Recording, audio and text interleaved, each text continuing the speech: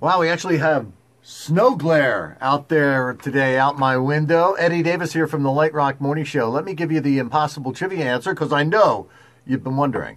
And if you subscribe to Lite Rock's YouTube channel, you'll always know these answers, so click right now.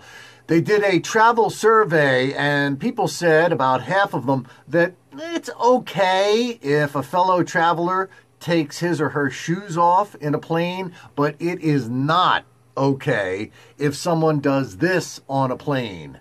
And we heard some uh, really interesting guesses. The old predictable puts the seat back into your lap uh, and uh, the, cuts their toenails and all kinds of weird things like that. But no, if you just go with the the the, the taking your shoes off idea, it's not a far stretch to the answer, which is they take their socks off too.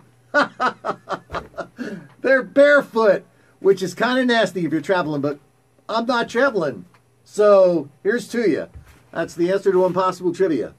See you later. You're lucky I didn't pick my nose.